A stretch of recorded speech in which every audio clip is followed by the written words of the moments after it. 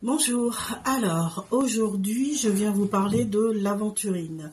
Alors l'aventurine, euh, personnellement moi sur mon site j'en ai trois. J'ai trois couleurs.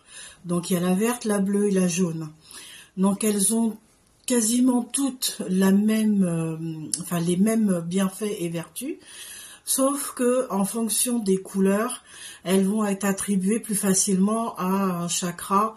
Donc par exemple la verte, ça sera plus pour le cœur, la bleue, ça sera plus au niveau de la communication, et le jaune, ça sera peut-être plus au niveau euh, du plexus solaire. Donc euh, pour la jaune, ça va être une gestion des émotions et puis un apport d'énergie. Voilà. Pour la bleue, ça sera plus une façon de pouvoir mieux gérer euh, ces périodes dépressives parce que via la communication, parce que plus on s'exprime et plus en fait on dégage tout ce qui nous ennuie, voilà, tout simplement. Et donc la verte qui correspond au chakra du cœur, qui elle apporte de la confiance en soi, euh, qui aide aussi à à réduire les maux de tête, avoir une meilleure régénération de la peau, et puis donc forcément, euh, forcément puisqu'elle apaise beaucoup, euh, il y a une meilleure, euh, comment je dirais, une meilleure appréhension des choses.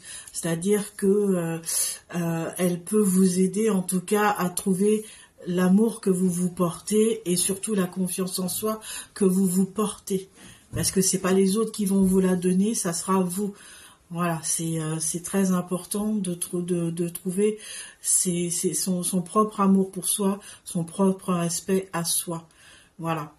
Et euh, forcément, à partir de là, euh, tout, tout va s'apaiser et tout sera beaucoup plus facile, en tout cas dans votre vie. Ou en tout cas, vous appréhenderez mieux les situations, on va dire, il y a ça aussi.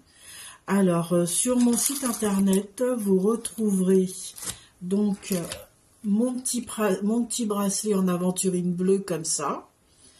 Vous l'avez également en, en, jaune comme ça.